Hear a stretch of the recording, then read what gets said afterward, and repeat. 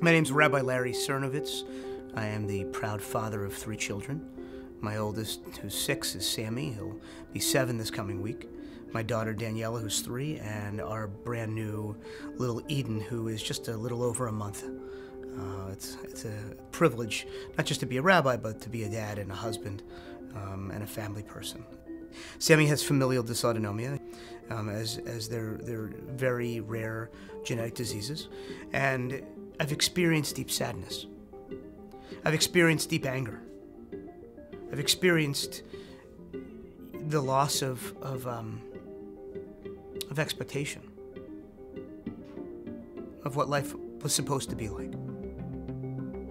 But I never knew about that as, as a young rabbi um, until I experienced what I experienced. Well, with every couple that I marry, I require them to get tested before the wedding. It's, it's an urgent, urgent matter. Um, and the funny thing is, people are scared, oh, then the couple won't want to get married by me, or it's not true. It's simply not true. They'll, get, they'll do it because they trust you. As a rabbi, they come to you. And even if you don't even know the couple, you sit down and you explain the importance family planning, of good choices. Because that's ultimately what you do as a married couple. You make choices every single day which will define your relationship. So, young couples need to know and they don't. Rabbis, young rabbis, don't necessarily.